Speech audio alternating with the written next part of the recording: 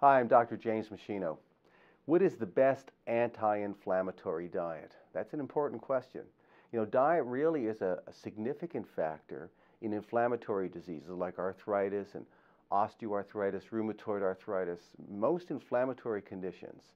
Uh, uh, you know, diet actually can be a factor that can make things worse or can help to tame the inflammatory process. The most important feature of this is that certain foods contain the building block for inflammation. So in certain foods, there's a particular fat. It's a polyunsaturated fat. It's called arachidonic acid. I know it's a big word. Arachidonic acid in those foods, once it gets into the cells of the body, is converted into an inflammatory hormone called prostaglandin series 2 by certain enzymes like cyclooxygenase and by lipoxygenase.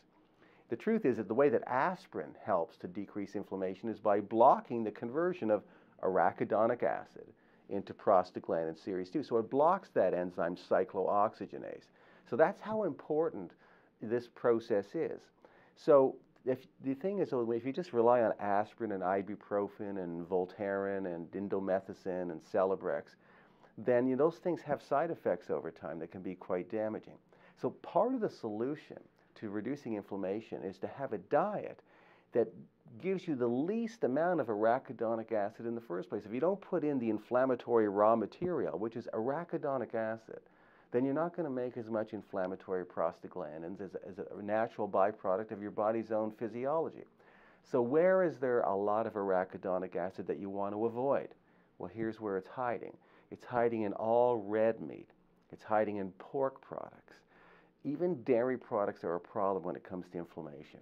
And then certain vegetable oils like corn oil, sunflower seed oil, safflower seed oil, mixed vegetable oils contain another fat that the body will convert into arachidonic acid. So you want to try to limit those oils and use more of the monounsaturated fats like olive oil as a, as a good example. That's a much better alternative. So it's better to eat chicken breast and turkey breast, to have egg whites, to have soy products, to have legumes like beans and peas, uh, whey protein powder. These things don't have a lot of arachidonic acid, but they give you the protein that you need for your lean mass and to keep your immune system strong.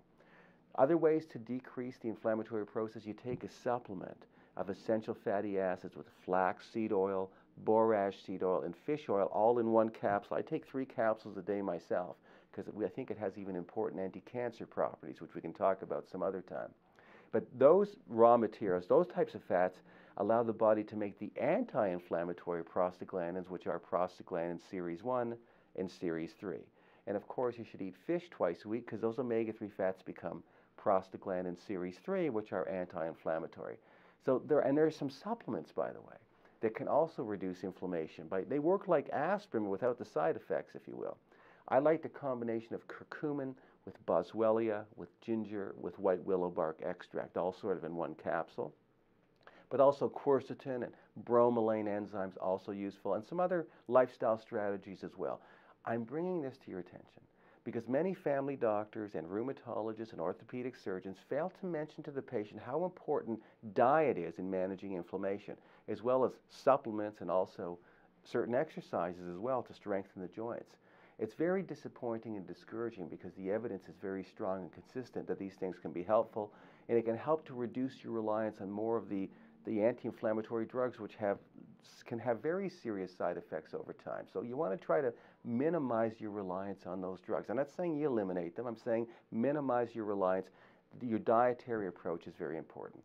So the best thing you can do to understand this is to I have an ebook that you can download for free. It's called Proven Natural Remedies for Joint Pain, Arthritis, and Inflammation. You can download it right here, and I think you ought to do that, especially if you've had any inflammatory condition uh, that's bothering you right now. This booklet outlines the exact lifestyle plan to help you manage any inflammatory or arthritic condition. The strategies can be used along with any drugs or medical treatment that you're undergoing uh, uh, under the supervision of your physician. Every, certainly this, every arthritic patient should have a copy of this ebook proven natural remedies for joint pain, arthritis, and inflammation. So download it right now. Now at meschinohealth.com, you'll also see my other review papers, uh, videos, footage from my live professional seminars. Uh, you'll see some downloads that I created, some other resources that will help you lead a long, healthy, functional life, keeping your body and your mind functional for as long as possible. All my research articles and my teaching materials have all the scientific references in them so you know you're getting only evidence based scientific information on the health topics that you're seeking out.